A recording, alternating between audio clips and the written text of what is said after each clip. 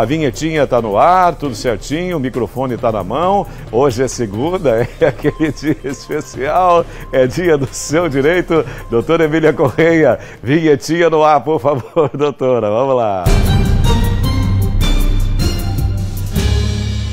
Ah, é fã do Tchan, né, doutora Vira? É bonitinho esse menino. Ele estava conversando ali, é. é. Aí. Tem um nome bonito ele, né? É o Tchan. É, né? É, ah, é, é o nome? É, é, tem um nome bacana. É. A Jéssica Dantas. Desde... Tá ali também a nossa querida, que morena Lindona, bacana, Jéssica, moça bacana, talentosa, nossa social é. media, gente da melhor qualidade. E o Simon, já conhecia o alemãozinho? Eu conheci agora. Alemão, lá, lá, e o Caio tá ali também, viu? É, é, então, é verdade, gente boa, o nosso time tá bacana. Ele tá. até falou assim quando me conheceu, eu falei, qual é o seu nome? Simon, sabe? Simon Aí ele falou assim, chique, né? Simon and Garfunkel, Paul gente. Simon e Art Garfunkel. Eu falei, é, Olha, ele, olha hein, como é que é? Que Olha que é, bem Juju? Tá vendo? Paul Simon, seu nome é Paul Simon? Não, Gente, mentira. que chique. Em homenagem ao Paul Simon? Olha. Não, mentira. É verdade mesmo? Que chique. Que, olha, meus parabéns, Simon. É, é uma das arrasou, maiores viu? duplas do mundo da música. Procura aí que você vai Olha, adorar. tá Art cara? Garfunkel e Paul Simon. Tem uma música chamada The Boxer, tem outra de Bleed, Bleed Over, Troubled Water e um monte de música. Já vou ficar viajando olha, aqui. é não, aí Vamos já trabalhar, vamos ver o seu trabalhar. viajo, que é Paul uma- Simon, mas Paul, Paul Simon tá aqui. O Simon tá aqui com a gente. É. O Tian gosta dele também. Vamos É. lá.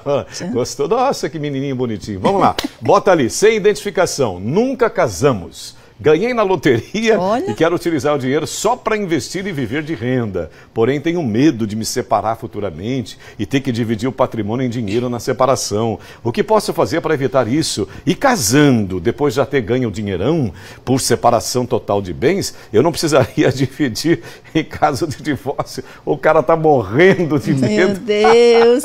Olha, ainda bem que tá sem identificação, né? Senhora, Ele deve amar gasguei. muito ela, eu acredito nisso, é. né?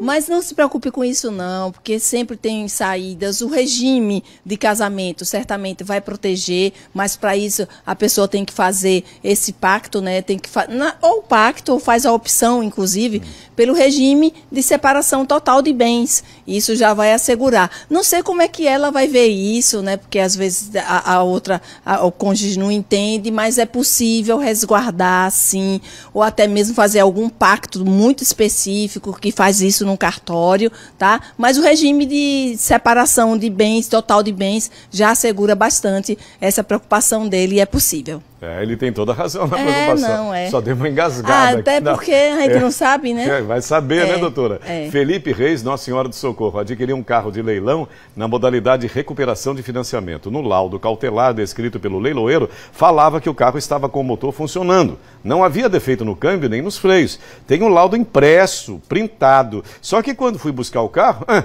já constatei através de laudo feito por uma oficina, o carro começou a esquentar muito, apresentar falhas no painel. O que, que eu posso fazer? Olha aí o Felipe. Olha, Felipe, essa sua situação pode até ser situação também de muitas outras pessoas. Então, o que a gente orienta nesse caso sempre? É, já que tem- teve esses vícios ocultos, esses defeitos que não foram apresentados logo depois, é bom que toda vez que a pessoa vá fazer qualquer tipo de assistência, pegue todos, os- todos as, as- os serviços, ordem de serviços, as idas, as vindas, né? Para que depois possa discutir e tenha reembolsado o seu valor ou até mesmo uma outra coisa, uma troca. Não pode ficar desse jeito, né?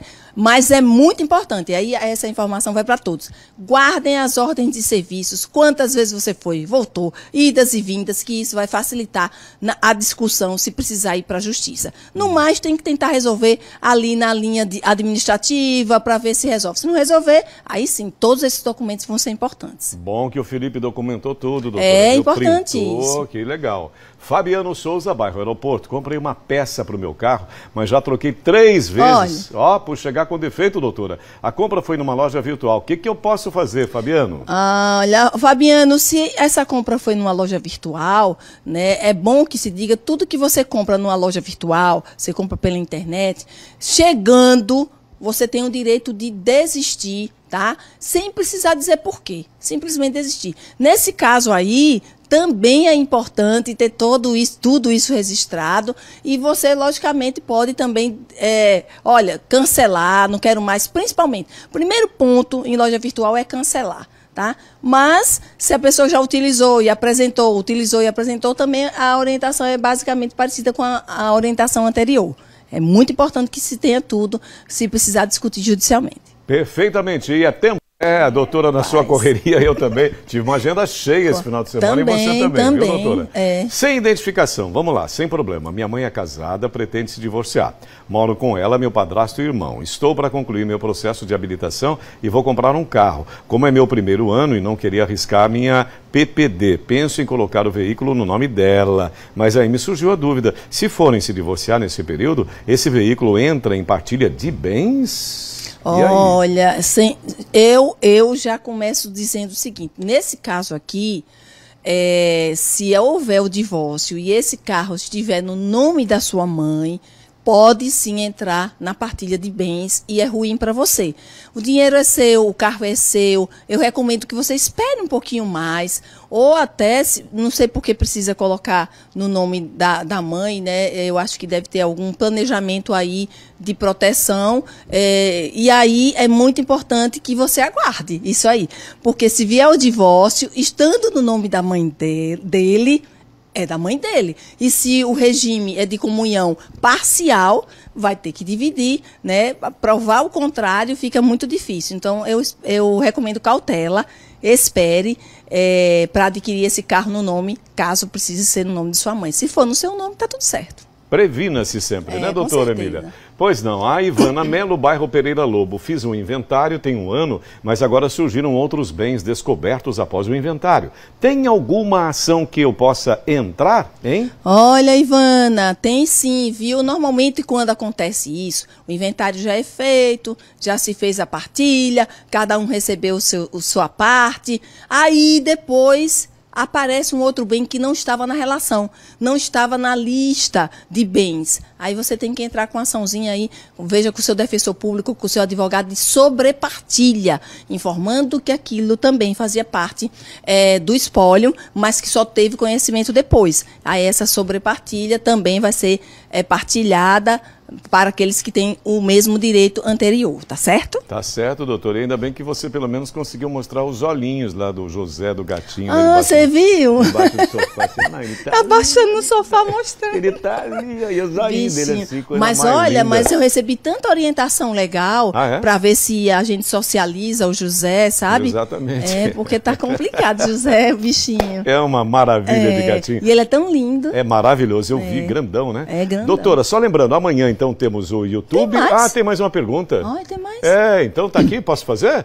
Regiane Santana, Laranjeiras, não tem problema não. Recebo pensão do meu falecido esposo, mas de alguns anos para cá comecei a perder a audição e hoje tenho quase 100% de perda auditiva. Caso solicite pensão por invalidez, eu perco a pensão anterior ou ocorre uma soma. A gente aproveitou o tempo, pensão, ó. a, pensão a do falecido Do e uma pensão, pensão caso. do falecido. Certo, e ela perdeu entendi. a audição. Entendi. É, veja, é, uma coisa é uma coisa, outra coisa é outra coisa nesse caso. Pensão por morte é uma situação. Pensão ou, ou auxílio doença e a pessoa é contribuinte, né, não, não tem a renda, não sendo contribuinte ou sendo contribuinte do INSS, é, pode se requerer um auxílio doença. No caso, auxílio doença, por causa da, da questão do 100% aí devidamente comprovado, não perde a pensão por morte, não. Um, aí são duas situações diferentes, tá? Então fique tranquila. Beleza, querida. Só lembrando, arroba Emília Correia Oficial. Sim. Amanhã temos a entrevista mega, Temos que é às sete da noite. No podcast, No podcast. no canal, no no YouTube. YouTube. É E isso. também todo sábado o Café nosso com Emília. Café com que Emília ele delicioso. sempre dá uma passadinha por lá. É, exatamente. Eu tô sempre lá na audição, tá Né, bom, né, querida? Ele passa, dá um tchau, fala. E todo mundo. Ah, um monte de gente manda é, abraço pra você quando você passa. Graças a Viu? Deus, doutora. Muito obrigado. Tchau, Tamo querido. junto, doutora. Tamo- tchau, Boa tchau. semana, minha querida doutora Emília Correia. Gente, são 12 horas e 27 minutos. Lembrando, ela volta na sexta com o seu direito, tá bom? Agora vejam que situação mais complicada, mais triste. Na última sexta-feira, você se lembra, nós mostramos aqui no balanço o sofrimento de um cavalo, lembra? Na taiçoca de fora, socorro, o animal estava todo atolado na lama, a patinha quebrada, não conseguia se levantar. A comunidade, a imagem aí, você vê, tá, tá um pouco nublada até pela situação. É, a comunidade ajudando como podia, amenizando o sofrimento desse animal, vários pedidos de